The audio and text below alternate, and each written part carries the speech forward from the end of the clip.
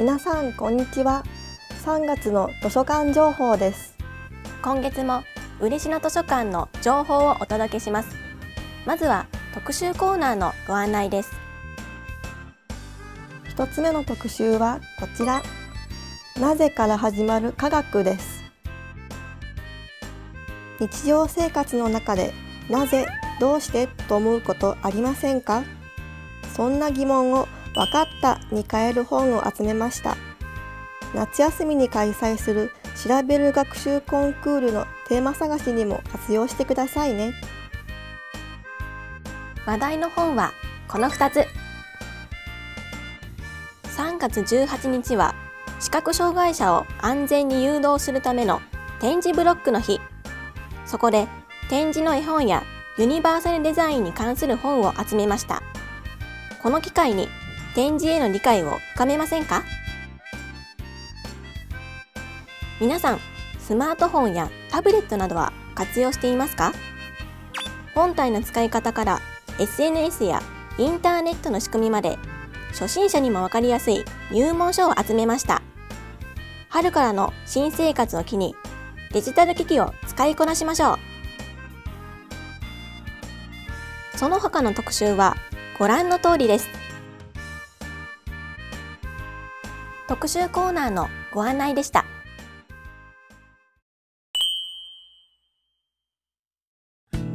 ここからは今月のピックアップ。今回はリニューアルを進めている松坂図書館の現在の様子をご紹介します。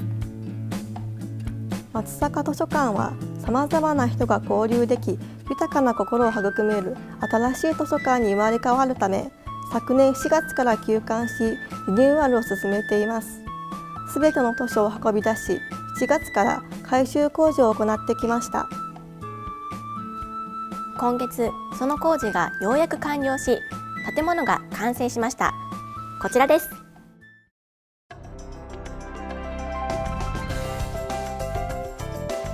真っ白な壁に包まれた新しい松坂図書館です外観も大きくイメージチェンジしました。鈴の森公園噴水前が正面入り口になっています。中は白と木目を基調としたデザインで明るく暖かい空間になっています。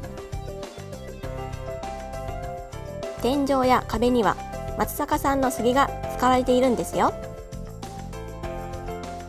きな窓と天井から外の光もたっぷり入ります。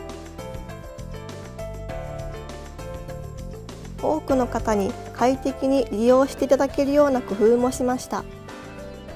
多目的トイレや授乳室も備えています。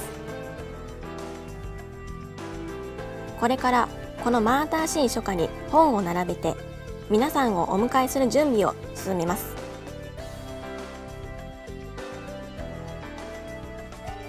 松坂図書館は4月中にリニューアルオープンする予定です。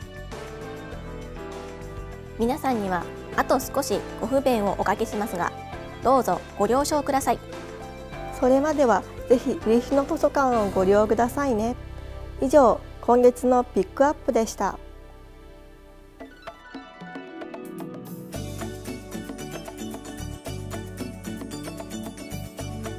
図書館情報最後は3月のお話し会の予定をご案内しながらお別れです。嬉野図書館へのご来館お待ちしています。